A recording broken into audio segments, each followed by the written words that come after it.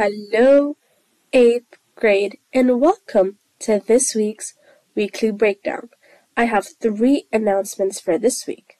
Starting with the first announcement that we are going to have a lab class on Monday.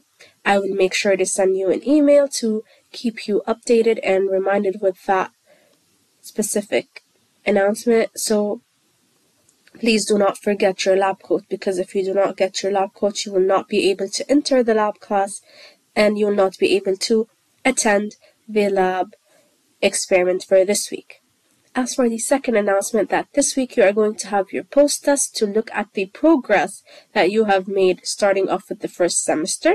So be ready for the post test. I will make sure to announce the date during this week and send you an email. As for the third announcement that this week we are going to have parents meeting conference, I'm very excited to meet your parents so we can talk about the progress that you had since the first semester. And I cannot wait again to meet your parents. Let's start with the second lesson of the fifth topic that we talked about starting last week, which is natural selection. So we are going to talk about evolution by natural selection. So we said organisms produce more offspring that can survive. But due to the environment around them, they are adapted to new traits each time there's a new change in the environment. Let's talk about this example where birds used to eat green beetles. So they kept on eating green beetles until green beetles were what selected against and brown beetles have flourished.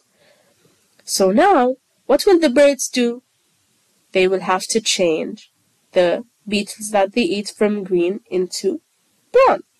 This is what natural selection means, that the animals will adapt according to the environment factors that can affect the evolution is mutation and migration and genetic drift. So mutation is an accidental change in the DNA that can give rise to variations among individuals.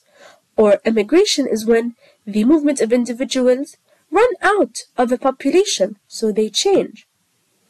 And the genetic drift is in when by chance they leave behind a few more descent and genes, of course, than other individuals. So we have artificial selection is when humans select the variation that are useful to them.